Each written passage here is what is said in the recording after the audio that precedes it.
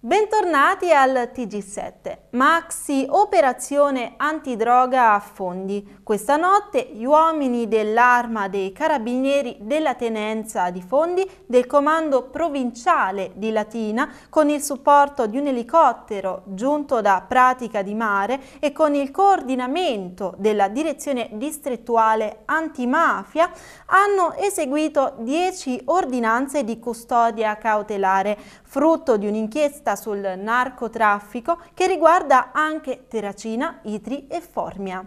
L'indagine è partita mesi fa proprio dai carabinieri della tenenza di Fondi, guidati dal tenente Ivan Mastromanno. E proprio Fondi è la città al centro dell'associazione dedita allo spaccio di sostanze stupefacenti sgominata questa notte. Nelle prossime edizioni del nostro TG vi forniremo ulteriori dettagli. Intanto vi invitiamo a seguire gli sviluppi sul nostro sito internet tvcanale7 7.it. E spostiamoci a Itri, dovrà rispondere del reato di lesioni aggravate e atti persecutori, un 48enne che per anni ha reso la vita della propria ex convivente e di sua madre un vero incubo. L'uomo è stato rinviato a giudizio dal giudice per l'udienza preliminare del Tribunale di Latina Pierpaolo Bortone al 7 aprile 2017, quando avrà luogo l'udienza di fronte al giudice monocratico Giorgia Castriota.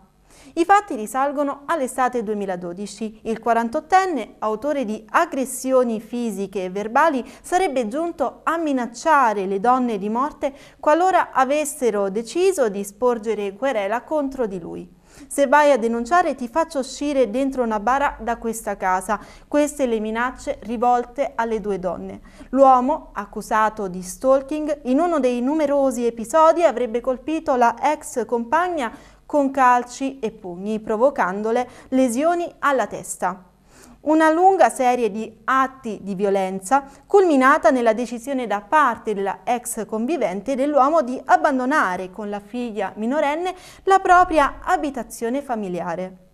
Secondo l'accusa, le percosse e le minacce perpetrate dal 48enne avrebbe, indo avrebbe indotto le, le, le, due vittime ad alterare le proprie abitudini fino a limitare la libertà personale. E torniamo a Fondi. Il sindaco Salvatore De Meo e l'assessore all'ambiente Roberta Muccitelli informano la cittadinanza che, come da capitolato d'appalto, nella giornata di martedì 1 novembre prossimo, festi, festività di ogni santi, il servizio di ritiro porta a porta dell'umido non è previsto e pertanto il relativo mastello non deve essere esposto. Sarà possibile in via esclusiva esporre esporre il mastello dell'umido insieme a quello del vetro dalle ore 20 di mercoledì 2 alle ore 5 di giovedì 3 novembre. Si rammenta agli utenti di fare sempre riferimento ai calendari in loro possesso al fine di verificare i giorni e gli orari corretti di conferimento. Chi avesse smarrito i suddetti calendari può consultarli e scaricarli dal sito internet www.differenziatafondi.it. E restiamo in argomento e spostiamoci all'Enola dove un gruppo di volontari armati, come riportato su Latina Oggi, di guanti e sacchi dell'immondizia, si sono adoperati domenica mattina per bonificare la contrada di Passignano. Un gesto autentico e gratuito per diffondere la cultura dell'ambiente e del rispetto della natura. Numerosi i sacchi riempiti dall'immondizia abbandonata dagli incivili, tra i quali Eternit e rifiuti ingombranti, che lo stesso comune di Lenola, collaborando all'iniziativa, si è incaricato di smaltire. E torniamo a parlare della direttiva Bolkestein. Il 17 e il 18 ottobre l'Associazione Imprese Oggi ha formalmente invitato il sindaco di Napoli ed i sindaci, gli assessori alle attività produttive delle province di Latina e di Frosinone affinché non si attivino immediatamente le procedure dei bandi previsti dalla direttiva Bolkestein e dalla delibera della Giunta regionale Lazio, Regione Lazio numero 527 del 13 settembre. Le richieste, si legge dal comunicato, sono state avanzate alla luce della iniziativa del governo che ha convocato le associazioni realmente rappresentative degli operatori ambulanti in Italia giovedì 3 novembre presso il Ministero dello Sviluppo Economico alla luce di alcuni rilievi di legittimità sollevati dalla Corte Costituzionale sulle iniziative realizzate dalle regioni e dalle province autonome e dalla luce della nostra nostra iniziativa di proporre ricorso al TAR del, del Lazio contro la delibera della Regione Lazio, con la quale sono state avviate le procedure dei bandi entro il prossimo dicembre. La convocazione della riunione presso il Ministero dello Sviluppo Economico di tutte le associazioni promotrici della manifestazione del 28 settembre a Roma è tesa ad affrontare tutte le problematiche che stanno via via emergendo nella attuazione della direttiva Bolkestein. Continuiamo a parlare dell'Ottobre Rosa. Nel corso dell'iniziativa di sabato scorso, il Villaggio Rosa, ai nostri microfoni sono intervenuti anche l'assessore ai servizi sociali Dante Mastromanno e la dottoressa Francaforte. Ascoltiamo. Siamo con l'assessore ai servizi sociali Dante Mastromanno, ennesima iniziativa questo del Villaggio Rosa per la prevenzione nei confronti delle donne. Certo, è una cosa bellissima, io plaudo a questa iniziativa anche in qualità di medico che tutti i giorni stiamo eh, diciamo così, ad avere questi problemi eh, sicuramente ehm, importanti soprattutto per le donne L'unica cosa è che dovreste fare qualche giornata in più perché mi rendo conto che ho visto le liste d'attesa qua sono lunghissime e quindi una giornata penso che non basta, ma in ogni caso a parte questo è un'iniziativa lodevole e quindi sia la Presidente dell'Andos sia tutti quelli che collaborano, i colleghi, i medici che stanno dando la propria opera a, titolo chiaramente gratuito, niente, un grosso applauso e niente, continuate così perché è una bella iniziativa e vi fa onore. Grazie. Siamo con la dottoressa Franca Forte, membro del direttivo Andos Fondi. Lei è portavoce dei medici che faranno le visite qui in piazza. Qual è lo spirito che anima tutti voi? Beh, lo spirito è uno spirito, come dire, eh, di grossa unione, di grossa fratellanza. Eh, nei colleghi che ho cercato di coinvolgere ho trovato veramente tanto, tanto entusiasmo. Per la giornata di oggi eh, siamo in quattro medici a fare le visite senologiche, due medici al mattino, due al pomeriggio, eh, in quanto per le visite senologiche abbiamo stabilito un percorso. Eh, la fascia di età che andiamo a eh, comprendere prendere eh, sono le donne dai 20 ai 39 eh, anni. Eh, I medici che ringrazio veramente di cuore eh, stamattina eh, in mattinata sono la dottoressa Anna Musillo, eh, la dottoressa Francesca Lippa, al pomeriggio ci sarà il dottor Massimo Diana e ci sarò ahimè io Francaforte.